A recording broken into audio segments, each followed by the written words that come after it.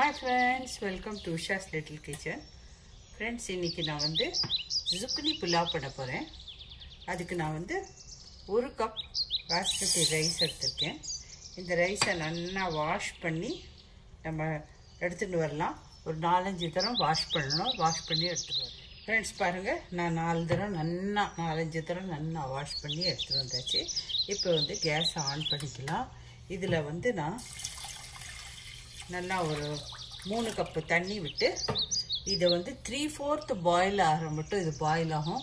அதுக்கப்புறம் தண்ணியை எடுத்து கொட்டி விட்டு ரைஸ் அப்படியே வச்சு நடுவோம். இப்போ இது த்ரீ ஃபோர்த்து குக் ஆகிற மட்டும் பாயில் ஆகட்டும். ஃப்ரெண்ட்ஸ் பாருங்கள் இது நம்மளோட அரிசி வந்து ஒரு ஃபிஃப்டி பர்சன்ட் குக் ஆயிடுச்சு. இதை நம்ம அப்படியே சுவிட்ச் ஆஃப் பண்ணி இருத்து தண்ணியெல்லாம் இழுத்துட்டு வேறு பாத்திரத்தில் வச்சுடலாம் ஃப்ரெண்ட்ஸ் நம்ம அரிசியை வந்து தண்ணியை எடுத்து நல்லா வடிகட்டி வடிகட்டி இந்த மாதிரி வச்சுட்டாச்சு. இப்போ வந்து அதே பேனை வச்சுருக்கேன். அதில் வந்து கேஸை ஆன் பண்ணிவிட்டு ஒரு டீஸ்பூன் அதாவது ஒரு டேபிள் ஸ்பூன் நெய் போட்டுக்கலாம். நெய் போட்டுக்கோங்க. உங்களுக்கு நெய் வேண்டான்னா நீங்கள் வந்து வேறு ஆயில் போடலாம். அது உங்கள் இஷ்டம். இதில் வந்து நம்ம ரெண்டு காஞ்ச மிளகா சீரகம் இந்த ஸ்டார் ஃபூல் சொல்லுவா அது. ரெண்டே ரெண்டு சின்ன ஏலக்காய் குட்டி குட்டியாக குருமிளகு பட்டை நாலு கிராம்பு. இதை போட்டுடலாம். ஒரு பிரிஞ்சி இலையும் போட்டுடலாம்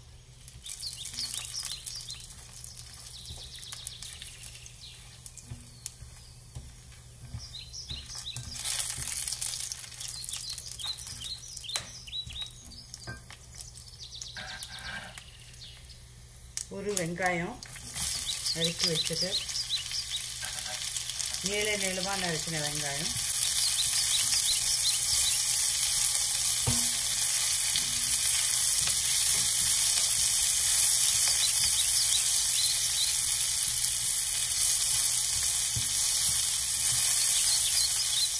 மூணு பல்லு பூண்டை உது. நல்லா துருவி வச்சுருக்கேன் அதை போட்டு.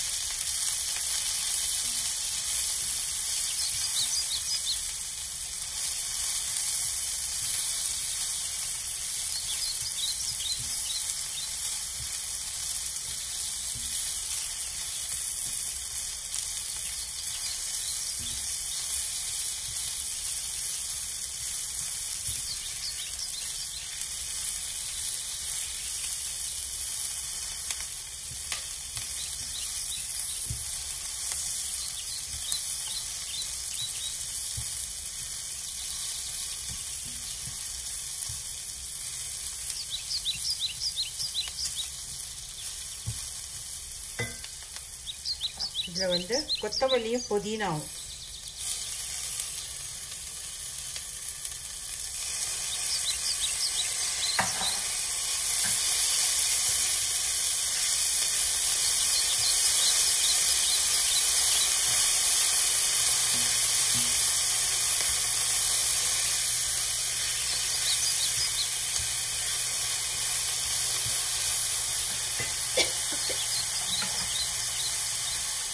நல்லா மூணு ஜுக்குனி எடுத்திருக்கேன் அதை.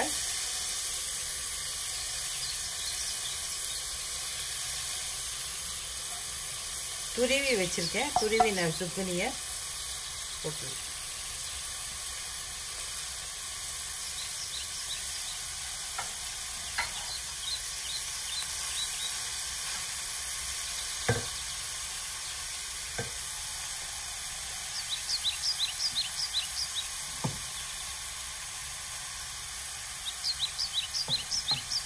நம்ம புலாவுக்கு தகுந்த மாதிரி உப்பு போட்டுக்கொள்ளலாம்.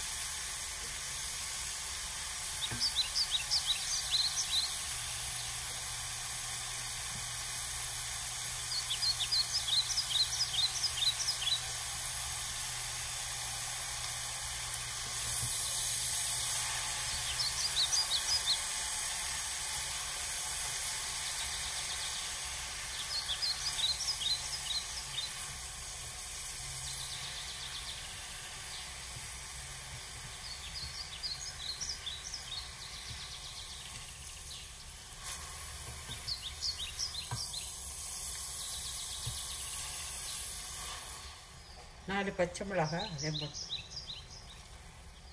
இந்த ஸ்டேஜில் நம்ம அரிசி வேக வச்சுருந்தோம்ல அது அப்படியே த்ரீ ஃபோர்த்தாக பாயில் பண்ணி வச்சுருந்தோம்ல அந்த அரிசி எப்படி நல்லா அடைக்கணும்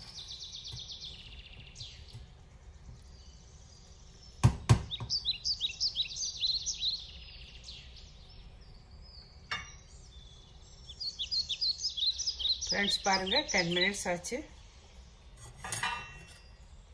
வாவ் எவ்வளோ நல்லா உதிர் உதிராக வந்து கொடுத்து பாருங்கள்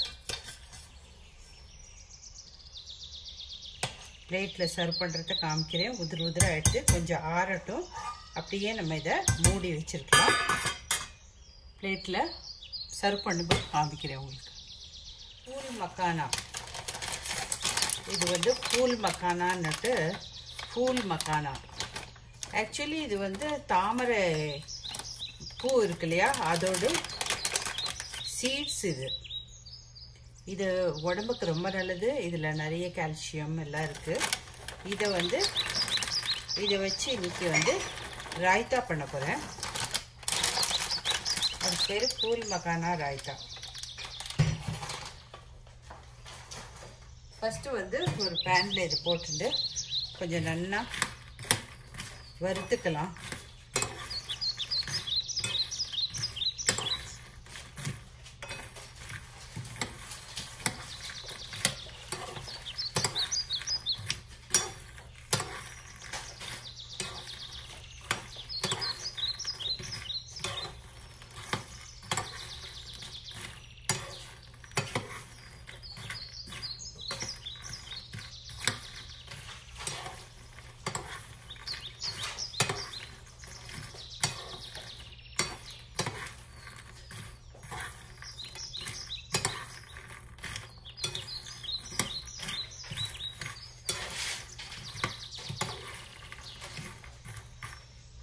ஒரு ஃபைவ் மினிட்ஸ் ஆகும் இது வறுத்து ஃப்ரெண்ட்ஸ் பாருங்கள் நல்லா வறுத்தாச்சு. இதை இப்போ எடுத்து சைடில் வச்சுக்கலாம் நம்ம. அதுக்கப்புறம் என்ன பண்ண நம்மளோட நல்லா இப்படி இந்த மாதிரி உடையிற மாதிரி நம்ம ஃப்ரை பண்ணி வச்சுருந்தாச்சு இப்போ வந்து ஒரு பேன் இதுக்கு ஒரு பொடி தயார் பண்ணிக்கணும் நம்ம. அதுக்கு பேன் வச்சுருக்கேன். இதில் வந்து நம்ம ஒரு ஸ்பூன் கடுகு ஒரு ஸ்பூன் ஜீரம் நாலு குருமிளகு.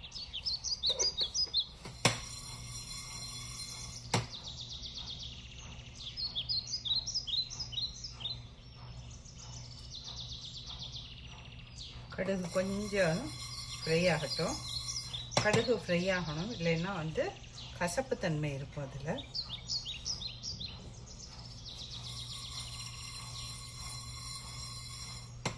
வெடிச்சு விட்டு இப்போ ஆஃப் பண்ணிடலாம்.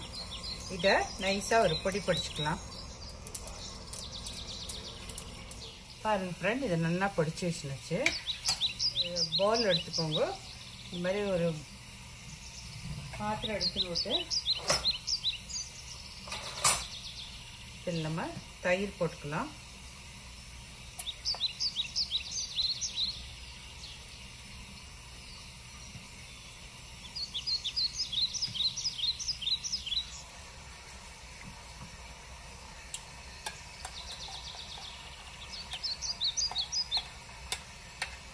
தேவைக்கு தகுந்த மாதிரி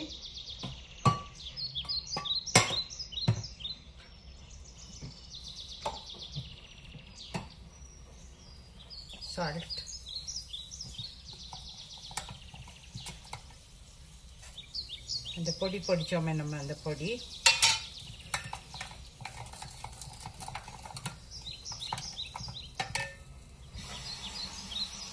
பச்சை மிளகா ரெண்டு.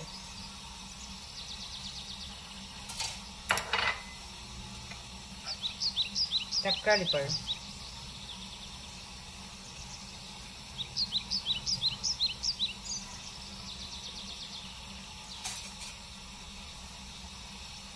கொத்தமல்லி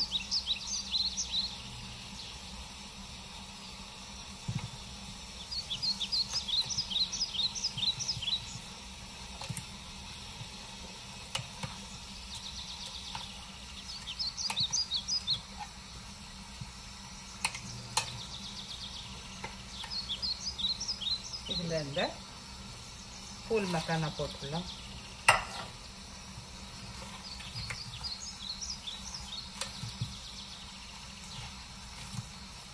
க்ரன்ச்சியாக ரொம்பவே நல்லாயிருக்கும் இது அப்படியே ஃபில்லிங் ஆகும் உங்களுக்கு.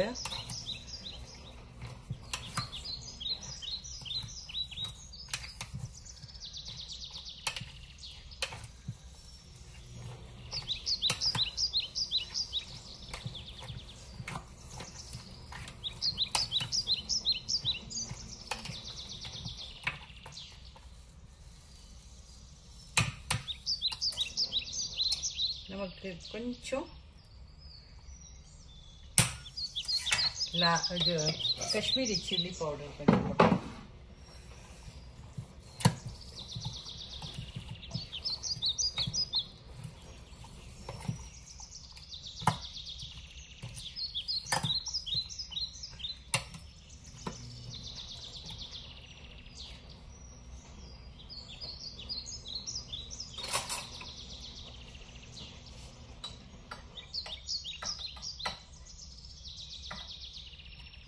ஜீரகத்தூள் ஜீரகப்பொடி.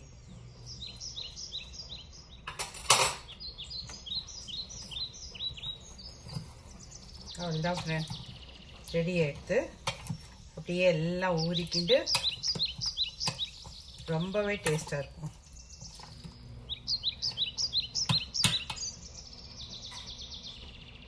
இப்போ நான் உங்களுக்கு பிளேட் சர்வ் பண்ணி காமிக்கிறேன். ஃப்ரெண்ட்ஸ் பாருங்கள் நம்மளோட சுக்னி புலாவ் உத்ரு உத்ரா சுக்னி புலாவ் சுட சுட. பூல் மக்கானாவோட ராய்த்தா. ஃபஸ்ட் கிளாஸான ராய்த்தா. அப்படியே சாப்பிட்டா அந்த ஒன்று ஒன்று கிரிஞ்சியாக கிரான்ச்சியாக அவ்வளோ டேஸ்ட்டாக இருக்கும். நீங்களும் உங்கள் வீட்டில் இதை ட்ரை பண்ணுங்கள் என் வீடியோ பிடிச்சிருந்ததுன்னா லைக் பண்ணுங்கள் ஷேர் பண்ணுங்கள் சப்ஸ்கிரைப் பண்ணுங்கள் நெக்ஸ்ட் இன்னொரு ரெசிபியோட சந்திக்கிறேன். Till then goodbye take care